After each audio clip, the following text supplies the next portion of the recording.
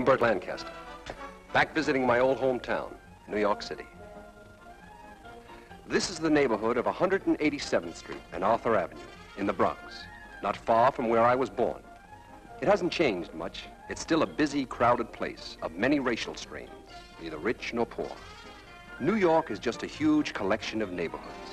People working, worshiping, enjoying their hard-won leisure, or trying to. Recognize that fellow? His name is Marty. Never heard of him, hmm? Well, you will, because we made a picture about him. No, I'm not in it. It's all his. But this is a picture I'm proud to be associated with, and the name of it is Marty. I'd like to show you some scenes from it. It's the story of a Saturday night in a man's life. The preparations. Oh, what do you feel like doing tonight? I don't know, Ange. What do you feel like doing? We're back to that, huh? The phone calls. The heartache.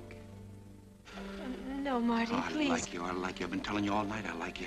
Marty. All I want's a little kiss. No. Please. No. Please. No, Marty. All right, all right. I'll take you home. The pain. The plain, simple pain.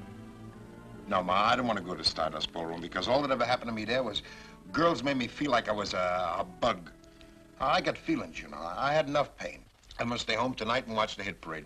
Are You're gonna die without a son. So I'll die without a son. Oh, Marty, put on the blue suit, huh? Blue suit, gray suit. Ah, I'm just a fat little man, a fat, ugly man. You're not ugly. I'm ugly, I'm ugly, I'm ugly. Marty. Ma, leave me alone! What are you doing New Year's Eve? Nothing. This is the simplest and the most beautiful love story I've ever seen in a movie.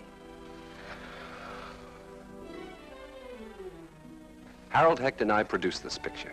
Paddy Chayefsky wrote it, and Delbert Mann directed it. And talk about stars being born. The performances of Ernie Borgnine and Betsy Blair make me proud to be an actor. And of the picture itself, well, I'm just plain proud.